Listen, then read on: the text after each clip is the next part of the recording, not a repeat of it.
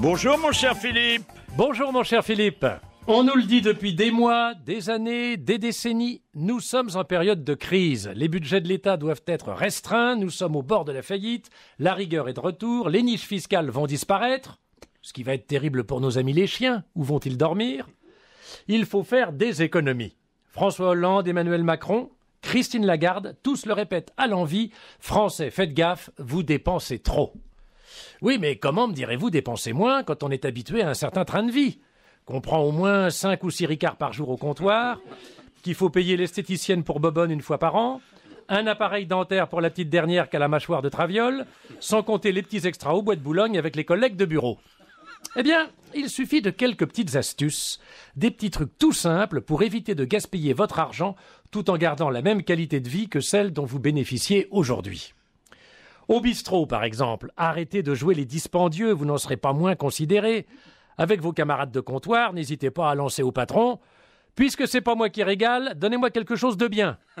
Ou encore Oh, je suis désolé, Robert, je t'aurais bien offert un verre, mais j'ai qu'un gros billet, ça m'embête de le casser.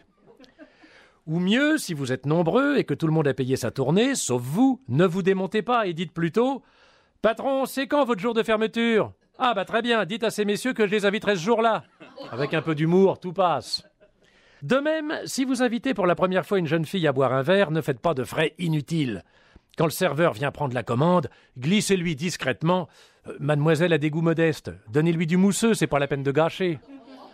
Et quant au pourboire, ne vous croyez pas obligé. Un bon sourire amical fait aussi bien l'affaire. Si vraiment vous avez mauvaise conscience, vous pouvez toujours dire Oh ben, je suis désolé, Raymond, je te laisse pas de pourboire aujourd'hui parce que je vais à la messe. Bah oui, il me faut de la monnaie pour la quête. L'amitié est une chose importante à condition qu'elle vous rapporte. Être invité à dîner chez des amis, c'est merveilleux. L'ennui, c'est qu'il faut rendre, même si le dîner a été délicieux. Et ça, c'est la plaie. On se paye tout le boulot et ça coûte. Je vous recommande, pour faire des économies, le coût des travaux permanents. Oh, on peut pas recevoir en ce moment, on est toujours en travaux dans l'appart.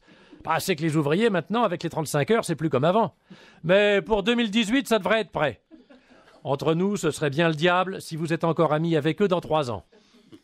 Quant aux cadeaux, méfiez-vous. Vous êtes sans doute comme moi, une bonne nature, toujours prête à faire plaisir. Sachez malgré tout que ça ne sert à rien d'offrir des choses somptueuses à ses amis. Ce qui compte, c'est l'intention. Et ne voient pas la différence entre le toc et la qualité, alors pourquoi gaspiller? Sauf si ce sont des gens qui ont du goût, évidemment, mais dans ce cas-là, ils ne peuvent pas être vos amis. Un petit truc pour ne rien dépenser quand on est invité à dîner et qu'on arrive les mains vides. Oh, excuse-moi, Janine, mais je ne vois pas les fleurs que je t'ai fait livrer cet après-midi. Quoi? Ils sont pas venus? Ah, ils vont m'entendre chez Interflora. Un bouquet à 200 euros, merci. Eh bien voilà, j'espère qu'avec ces petits conseils judicieux, la France et les Français arriveront à sortir de la crise. Merci mon cher Philippe. Eh bien Philippe, euh, à dimanche prochain. À dimanche prochain. Bonjour mon cher Philippe. Bonjour mon cher Philippe. Et voilà, il fallait s'y attendre, ça nous pendait au nez depuis un bon moment et ça tombe aujourd'hui, Paris sans voiture. Après la circulation alternée, les voies sur berge, réservées à trois piétons et deux cyclistes, la pastille verte et les feux rouges sur les quais, les marathoniens et leurs bouteilles d'eau minérale qui créent 200 km de bouchons quatre fois par an autour de la capitale, Madame la maire de Paris a remporté une nouvelle victoire au nom des écolos, des bobos et des vélos. On n'a pas le droit de rouler en voiture ce dimanche à Paris. Si vous deviez aller voir votre vieille tante qui habite à la Garenne-Colombe et qui attend votre visite depuis six mois, vous pouvez la prévenir. Mais pas la pintade au four trop tôt, on sera pas là avant 18 heures. Oui, parce qu'elle est quand même très humaine, Madame Hidalgo. Si on veut vraiment aller rendre visite à la Aurore, elle ne vous l'interdit pas totalement. Il n'y a qu'une douzaine d'arrondissements touchés par la mesure de salut public. Si vous habitez l'ouest de Paris et que vous voulez rejoindre l'est, et si votre arrondissement est en zone libre, vous pourrez toujours faire démarrer votre véhicule et le faire rouler jusqu'à la prochaine ligne de démarcation. Là, faudra vous arrêter, faire demi-tour ou continuer à pied, à moins que vous n'ayez pris soin de transformer votre Clio en ambulance ou en véhicule accrédité par la mairie de Paris avec le laissez-passer qui va avec. Si dès le départ vous êtes en zone occupée par la sympathique cohorte des dorifores marcheurs du dimanche, affublés de bâtons et de sacs à dos, vous aurez la possibilité de pousser votre auto, comme si elle était en panne, jusqu'aux portes du périphérique à condition de tomber sur le bon tronçon, celui qui sera ouvert à l'automobile. Si c'est le cas, faites attention sur la bretelle d'accès au moment de monter dans l'auto, à ne pas vous faire faucher par un chauffard, tellement content de rouler à 35 à l'heure après 4 heures d'embouteillage. En même temps, si vous prenez des risques, tant pis pour vous. Si vous vous êtes trompé parce que vous avez mal lu les directives de la mairie reproduites dans Le Parisien, qui n'est plus libéré depuis longtemps, et que vous constatez que cette partie du périphérique vous est interdite, pas de panique. Demandez aux braves piétons de ne pas vous insulter tout de suite, et sollicitez de leurs bras aussi vaillants que leurs pieds une aide efficace pour remonter votre véhicule jusqu'à l'entrée de la bretelle. Si vous y parvenez, surveillez votre femme de très près. À mon avis, vous êtes cocu. Mais qu'importe, comme le dit si bien Madame la maire, je veux prouver que Paris peut vivre sans voiture. Et au fond, moi, je suis d'accord avec elle. Ben oui, et moi aussi, je peux me passer de voiture, si j'en ai pas besoin. Monsieur Mauroy, qui fut Premier ministre et maire de Lille, avait souhaité qu'une fois par semaine, il y eût une journée sans télévision. Ce grand projet pour la France, malheureusement, n'a jamais abouti.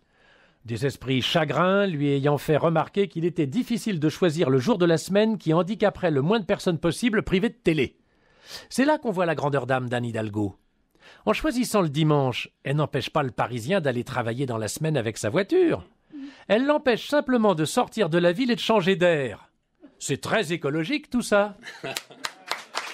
Et moi, je n'envisage pas une semaine sans Philippe Chevalier. Merci Philippe. Mon cher Philippe, à la semaine prochaine. Merci Philippe Chevalier. Bonjour mon cher Philippe. Bonjour mon cher Philippe. Il y a eu les chauffeurs de maître, les chauffeurs en livrée, les chauffeurs de taxi, les chauffeurs de VTC, ceux qui s'appelaient Hubert au lieu de s'appeler Raymond. Il y avait papa qui conduisait l'automobile sur la route des vacances et maman qui la prenait pour aller chez le coiffeur. Il y a eu le jeune étudiant qui frimait en 4L décapotable et bientôt, il va y avoir la voiture sans chauffeur. Oui, vous avez bien entendu la vraie automobile, celle qui, comme en Harley Davidson, n'aura besoin de personne pour la faire rouler. Vous montez dedans, vous lui indiquez la destination et hop, elle vous amène d'un point à un autre sans que vous ayez à faire quoi que ce soit. Bon, vous me direz, ça existe déjà, ça s'appelle le train.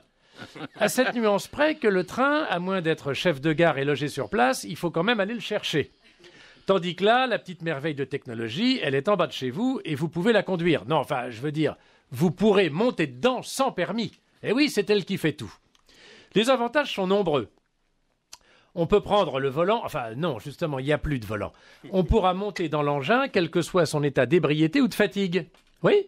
Vous pourrez vous péter la ruche au mariage de Janine et Robert sans avoir à craindre la marée chaussée sur la route du retour, ou sans être obligé de rester couché dans la chambre d'amis, qui n'a d'amical que le nom, tellement elle est éloignée des lieux d'aisance si indispensables à un bon confort nocturne.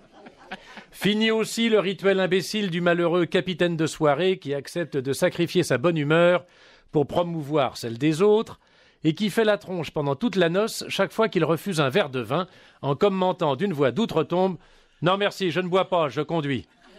Ce dilemme cornélien, cuite ou conduite, disparaîtra bientôt de nos mœurs grâce à cette merveille de véhicule et nous pourrons renouer avec cette pratique ancienne qui consistait à acheter une voiture pour aller faire la fête loin de chez soi. Évidemment, les amateurs de voitures et de vitesse en seront pour leurs frais. Plus question de jouer les Fangio à moins de mimer le volant et le levier de vitesse devant le pare-brise en faisant broum broum pour amuser les enfants. Tout ce qui donnait à l'automobiliste les sensations de liberté et d'évasion disparaîtra au profit d'une fonctionnalité sans surprise. On imagine les petites routes de campagne désertées, les petites auberges planquées dans un bosquet abandonné, et même les gendarmes couchés dans le creux d'un talus, réduits à l'état de chômeurs. La sécurité qu'on nous promet risque donc d'être proportionnelle à l'ennui. Et si la main de l'homme doit céder une place de plus en plus grande à celle de la sophistication technologique, on pourra imaginer dans quelques années le dialogue suivant. Alors, Robert, qu'est-ce que t'attends pour venir au lit? Oh, fiche-moi la paix, je regarde un film. T'as qu'à prendre le robot, je l'ai fait réparer ce matin, il paraît qu'il marche impeccable. Merci Philippe Chevalier, merci. À dimanche prochain, mon cher Philippe. À dimanche prochain. Merci Philippe Chevalier. Bonjour mon cher Philippe. Bonjour, mon cher Philippe. Elle a raison, notre royale Ségolène, ministre de l'écologie environnementale, du développement durable, de l'énergie renouvelable, des éoliennes à hélice et des tricots thermolactiles. Oui, elle a raison de vouloir faire la chasse au gaspillage. C'est vrai, dans notre société de consommation, on gâche, et on est tous coupables. Pourtant, moi, quand j'étais enfant, j'avais une inclination naturelle pour l'écologie. Il m'arrivait fréquemment de faire pipi dans la baignoire, à la fois pour gagner une chasse d'eau et économiser du shampoing. Bambin, j'exhortais ma mère à ne pas dépenser d'argent pour les livres de classe. Je lui disais Mais ne t'inquiète pas, ma leçon de lecture, je la ferai ce soir en mangeant ma soupe au vermicelle en forme d'alphabet. Et puis l'adolescence, l'âge ingrat par excellence, est venu bouleverser mon univers de bons principes. Oh, j'avais encore de beaux restes. Quand on me disait Tiens, t'es sorti, il pleut dehors Je disais Non, non, j'ai les cheveux gras, c'est tout. Encore l'économie de shampoing. Mais le romantisme acnéique de mes quinze ans qui m'obligeait à tripoter mes boutons m'empêchait de toucher à celui de l'interrupteur électrique. Pour vivre dans la lumière comme Rimbaud, il m'arrivait de m'endormir dans une chambre encore allumée, à la grande joie de mes parents qui pensaient naïvement que je faisais mes devoirs. Ce n'étaient pas ceux de l'esprit auxquels je m'adonnais avant de roupiller, mais les impérieux commandements d'un corps jeune et vigoureux qui réclamait sur le dessus de lit ma participation manuelle. C'était le début du grand gaspillage. J'étais le dictionnaire Larousse à moi tout seul, je semais à tout vent, mais sans espoir de déclencher la moindre tempête. La révolte grondait en moi et allait au-delà de la simple querelle des générations. La question du pain, par exemple. Sous prétexte de ne pas gaspiller, on ne mangeait jamais de pain frais chez moi, parce qu'il fallait d'abord finir celui qui avait été entamé la veille. Oh, j'entends encore ma mère, des trémolos dans la voix, déclamer Pense à ceux qui n'ont pas de pain. Ben, j'étais pas un égoïste. J'étais prêt à leur donner mon pain rassis, moi, aux pauvres. Du moment qu'on me laissait goûter à la miche fraîche, moelleuse et dorée comme le sourire en coin de la femme du boulanger qui la sortait du fournil. Pas sa femme, mais la miche. Alors, pour me venger au petit déjeuner, je gâchais. Je prenais des biscottes que je tartinais avec du beurre bien dur, sorti du frigo, et je les cassais en disant Oh, encore une biscotte de cassée, faut que j'en prenne une autre. Et ainsi de suite. Je devais consommer un paquet de biscottes par matinée pour en avaler seulement deux entières, une vraie gabegie. Mais pour ça, pas d'opprobre familial, la biscotte n'a pas la valeur symbolique du pain. Il y a une chose en revanche avec laquelle je n'ai jamais plaisanté, c'est le vin. Habitué à boire très tôt, dès ma première communion, je n'ai pas souvenir d'avoir laissé perdre du vin ou un alcool au fond d'un verre. Le fruit de la vigne et du travail des hommes a toujours été pour moi une chose sacrée, et je me rappelle qu'enfant, après le départ des amis que mes parents avaient invités à dîner, je grimpais sur la table pour siffler un à un ce qui restait dans les verres. Ségolène, vous auriez été fier de moi. Et encore aujourd'hui, quand il m'arrive d'être convié à une dégustation de vin prestigieux, je ne cède pas au rituel du crachat dans la bassine au prétexte de garder la tête froide. Même s'il m'arrive de tituber en sortant de la cave, je peux à chaque fois proclamer haut et fort Tout ce que j'ai bu là, c'est autant d'eau potable que j'ai économisé pour la planète. Bah oui, puisque j'ai pris du vin à la place. À la semaine prochaine, Philippe. oh, mais merci, cher Philippe. Alors, voilà une façon originale et, et, combien drôle de traiter ce problème que nous évoquions d'ailleurs euh, dans l'émission d'hier. À dimanche prochain.